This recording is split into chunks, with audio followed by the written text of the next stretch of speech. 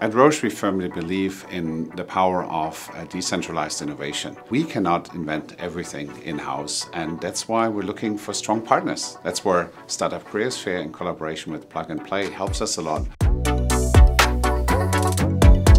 In 2018, Roche came to us with a vision for a global digital health platform and we started with a trial batch, setting up the framework, testing it out and from there we've really developed a globally integrated platform with locations in Munich, Singapore and Silicon Valley. In uh, digital health, uh, Roche really needed to tap into the ecosystem of uh, external innovation and startups uh, are very, very active in that area. So we really wanted to create a program where the Roche employees can work very closely together with startups. On a global level, we have uh, representation APAC in Europe and in the United States. There's more to come certainly on that front as innovation continues to be an important element and uh, there's always a search for new ideas and entrepreneurs on our side.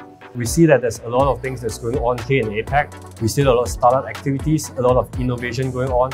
I think it's an opportunity for us to tap onto the ecosystem here and this becomes one of the platforms for us to do that.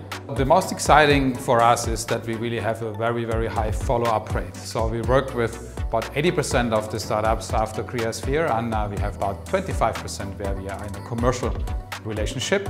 Now we are expanding globally. We are already in three continents and we are going to look forward to do that even more.